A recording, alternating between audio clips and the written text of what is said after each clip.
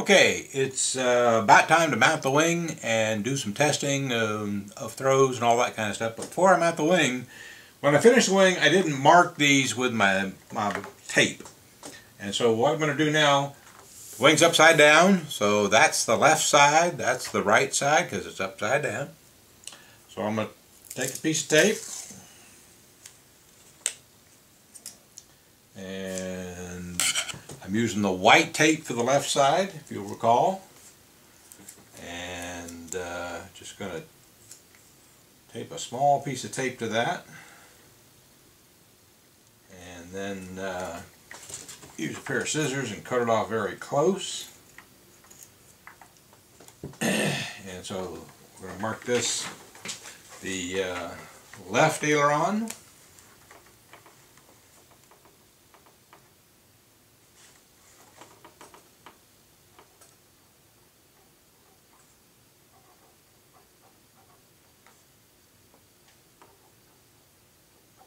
One. And I'm going to take the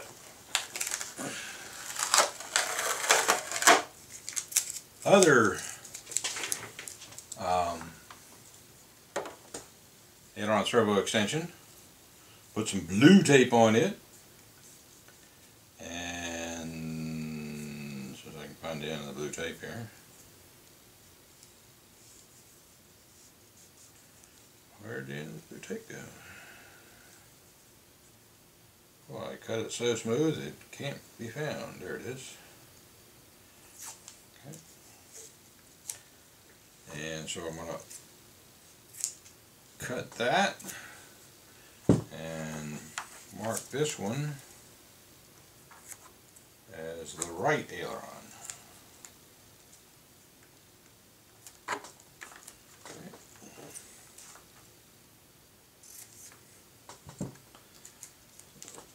One's marked left with white tape, one is marked right with blue tape.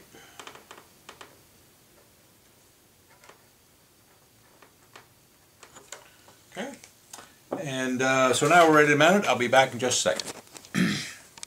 a tip and a reminder, um, because the aileron and aux 1 are on different channels, if you mix those up, guess what?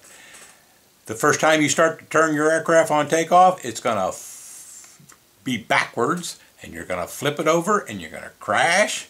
So you know, double make sure blue is on blue, white is on white, and you double check this as I'm going to do right now to make sure it all works correctly on the ground first time.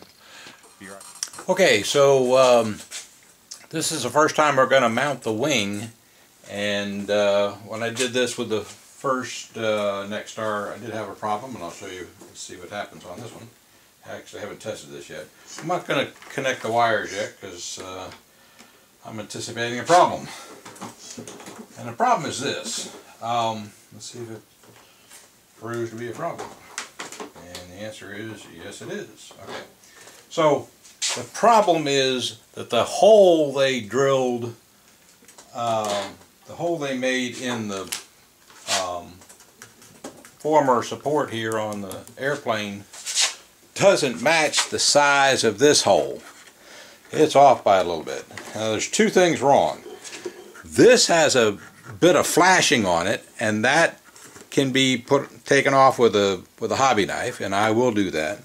But even after that this is not big enough. So I'm going to take the um, appropriate size drill and drill this out to make this fit better. You don't want it loose but you've got to get it in and it won't go in right now. So I'll be um, back in a second and I'll show you what size drill that is and I'm going to trim the flashing off of that piece of plastic. Be back in a little bit. Okay uh, I'm back and I've solved the small little problem. The hole size is supposed to be 5 16ths this 5 16ths drill would not fit in. So I've locked it in a, a vice grip and uh, was able to work its way in and then sort of use that as a reamer to go back and forth and that uh, opened that up quite nicely and then the other thing I did let's see if I can get the vice grips off. There we go. The other thing I did was I took a piece of 400 uh, grit emery paper and uh, uh, I, I already trimmed this with a hobby knife to get all the flashing off. Then I took the emery paper and uh, made sure that was smooth and uh, um, not oversized as it was. Okay. So this is like uh, two tenths of a millimeter oversized, and that was undersized. And so between the two changes, it now slips in all the way in and nicely to the front. So um, that's what you got to do when your wing gets uh, stuck in your airplane. Be back in a few minutes. Okay, I'm back. Found another wrinkle. Uh, little problem to solve. The hole that this goes through, um, that you put the wing bolt through, isn't clear. Uh, this is actually 15 64ths. Uh, it should be a quarter, but even the 15 64ths, you can spin it, but there's a, a blockage there. Okay, if you try the quarter inch, um, it'll barely go in, but then it hits the same blockage but won't spin around it. So what I'm going to do is clear the blockage, and I'm not sure if it's the plastic in this or if it's the wing sticking in something, um, but the bolt won't go through right. So um, I'll be back in a minute and we'll uh, figure out if this works or not, but I'm going to try to basically make sure that quarter inch bolt hole is truly a quarter inch all the way through. Be back in a minute. Okay, I'm back, and so I ended up using both the 1564s and the quarter inch um, drill bit. They all both go smoothly now. Whatever was blocking it's no longer there. So uh, we'll see if we can get the wing mounted. Okay, I'm back, and I've determined the problem. The problem is this wing will not fit either airplane. Airplane number one's wing fits both airplanes. So, what's different? It's this little plastic joiner piece, okay? That little plastic joiner piece is about two millimeters longer between the front of this and that hole, and the hole just will never line up on either airplane. No matter how far you push this forward, that hole to there in other words, this hole to there is longer, uh, and I think it's about two millimeters, maybe even two and a half. Um, so, it doesn't work. Uh, I'm going to write to or call uh, Tower Hobbies or product support for uh, Hobbico and say, send me a new one of these that's the right size. That's about all I can do. Thank you, and uh, I'm going to be posting this uh, just in case uh, Hobbico wants to look at it. But um, uh, we'll stop here and we'll test some more and do some more things after I get a new plastic piece. Hey, um, to continue the saga of the problem with this um, little plastic piece on the wing, um, Friday afternoon is when I discovered that this was a problem. Tried to call uh, Hobbico product support, uh, couldn't get through. Line was uh, just sat on hold for mm, 45 minutes or so. Gave up. Went to the website, found this, which is the part you need. It's there's the part number, and uh, so I didn't buy one. I bought three just to be certain. So here's the one that's the problem. I marked it number two. Here's one of the new ones I just got. And uh, I took my ruler and measured by millimeters from the front to where the beginning of the hole is.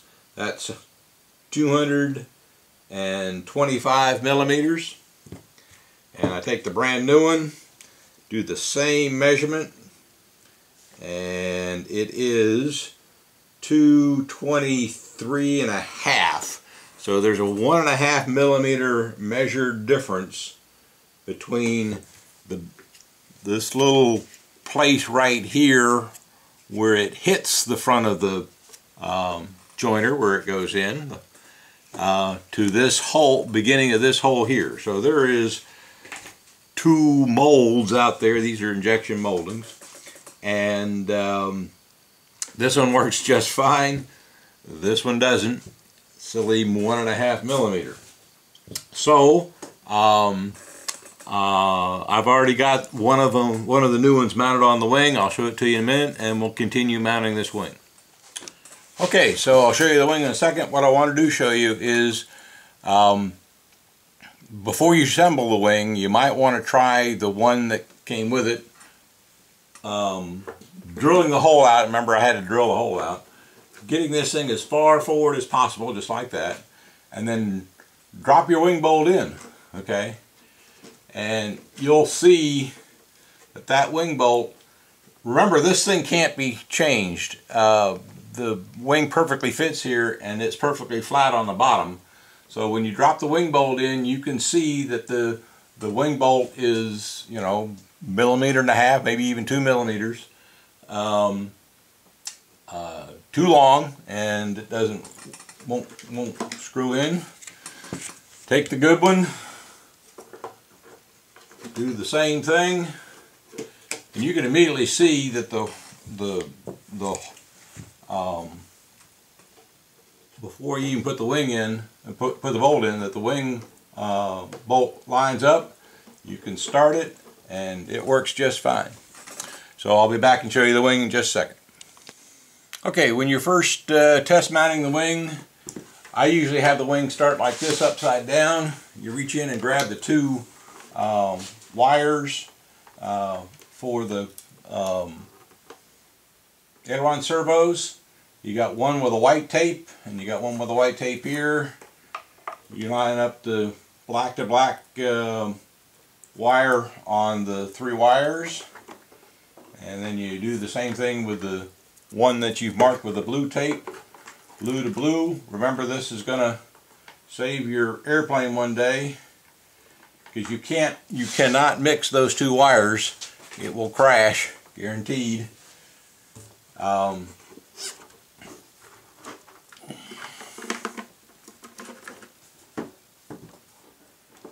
So now when you put this in, those two wires are good. Okay, you slide it all the way forward. Drop in your wing bolt. you can't see that, can you? Hold on a minute. There I am. Okay, so um, you slide in the wing bolt. Okay, and you start cranking it down. You slide it in all the way. There we go.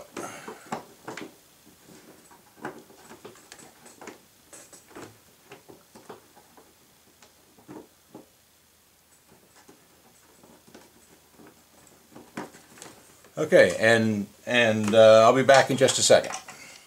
Okay, this bolt is a, is a perfect fit. So one of the things you have to do is make sure that the wing is not tilted or, or shifted left to right like this. Okay, When it's exactly centered, it goes in very nicely. What I recommend is you take a, once you get it in there for the first time, take a Sharpie marker and mark where there's a, there's a little seam on the center of this uh, white plastic piece. Put a Sharpie mark on the fuselage and one on the white piece so that you know exactly where that's supposed to be when it lines up. Okay? Then, then you grab your your wrench that you have, and I'll this will be clear. Uh, this will be in my field uh, completion guide for all the field equipment that you need.